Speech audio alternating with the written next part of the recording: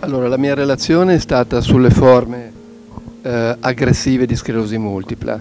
Intanto bisogna intendersi che cosa sono le forme aggressive. Le forme aggressive sono eh, quei pazienti che raggiungono un importante carico di disabilità in un breve periodo.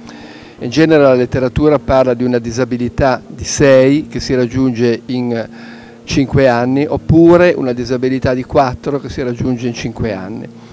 Eh, in più eh, pazienti che continuano ad avere ricadute nonostante le terapie effettuate, che possono avere progressione di malattia, progressione della disabilità e hanno attività di risonanza magnetica nonostante le terapie effettuate.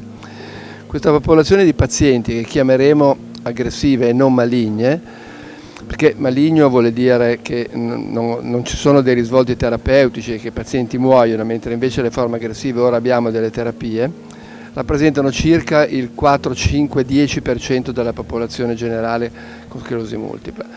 Quello che dobbiamo fare è riconoscerli precocemente, quindi seguirli frequentemente dal punto di vista clinico e risonanza magnetica e prendere delle misure di terapie aggressive per le forme aggressive. Terapie aggressive vuole dire terapie con immunosoppressori, in particolare noi ora abbiamo degli immunosoppressori particolarmente attivi e sto parlando dell'alentuzumab sto parlando del rituximab. Anche il natalizumab può essere naturalmente un farmaco da prendere in considerazione per le forme aggressive, ma quando cominciamo il natalizumab dobbiamo avere bene in mente che dobbiamo continuare e non sospendere poi il natalizumab.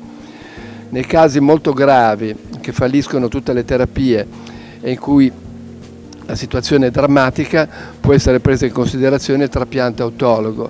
Questo perché teniamo presente che eh, anche i farmaci più attivi come la lentuzumab e l'ocrelizumab hanno un NEDA, cioè l'assenza di attività di malattia clinica o in risonanza magnetica a 2-3 anni di meno del 50%. La lentuzumab parliamo del 39%, l'ocrelizumab parliamo del 47%, mentre trapiante autologo ha un NEDA a 3 anni praticamente del 75-78%. Quindi è una procedura che per quanto rischiosa in alcuni casi selezionati può essere presa in considerazione.